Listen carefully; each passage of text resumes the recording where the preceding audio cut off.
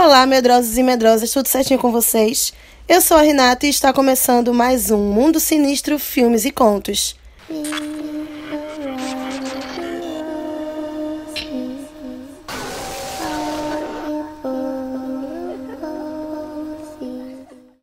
Recife tem muita história de terror. Não é à toa que é conhecida como a cidade mais assombrada do Brasil. Aqui no canal já postei algumas histórias desta cidade super sinistra.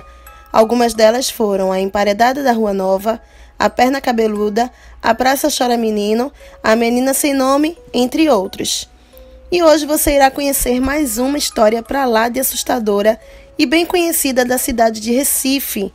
Então, antes de continuar, já quero pedir a você que ainda não é inscrito aqui no canal que não pense duas vezes e se inscreva logo. Ative o sino de notificações e já deixa o seu like aqui no vídeo.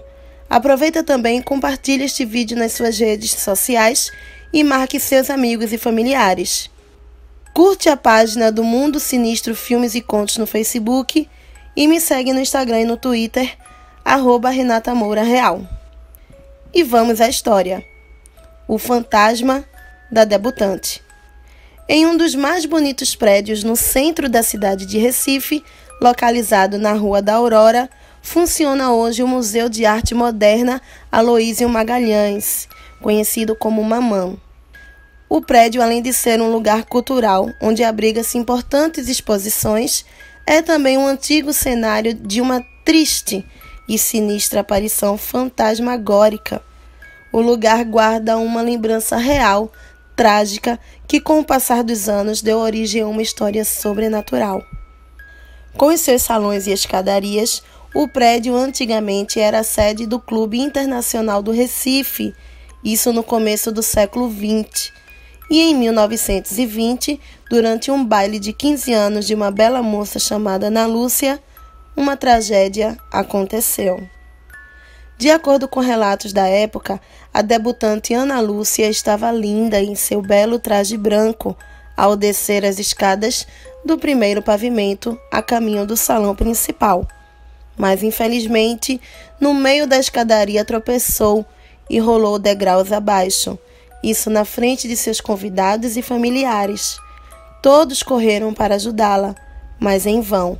Ana Lúcia havia quebrado o pescoço no dia mais feliz de sua vida.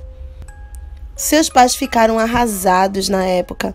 No dia foi muita dor e sofrimento para todos uma tragédia realmente. Atualmente, alguns funcionários do atual museu dizem que o espírito da garota assombra o prédio nas noites silenciosas. Ana Lúcia caminha solenemente pelos desertos corredores. De acordo com testemunhas, ela continua bela, a não ser pela palidez de seu rosto. Em 2007, uma faxineira do prédio disse que viu uma moça bonita dançando uma valsa no meio do salão principal. Ela fechou os olhos e, ao abrir, não viu mais nada. Alguns servidores públicos do local, inclusive guardas municipais, pediram afastamento do trabalho no museu para não terem que se deparar com o fantasma da debutante novamente. Então, medrosos e medrosas, que história mais triste! Já ouviu falar desta história sinistra da cidade de Recife? Você conhece alguma história parecida? Bom, eu fico por aqui. Se inscreva no canal, ative o sino de notificações para saber quando tem novos vídeos e já deixa seu gostei para ajudar este canal a crescer. E se gostou, aproveita e compartilhe este vídeo com seus amigos e familiares. Um beijo e até mais, medrosos e medrosas.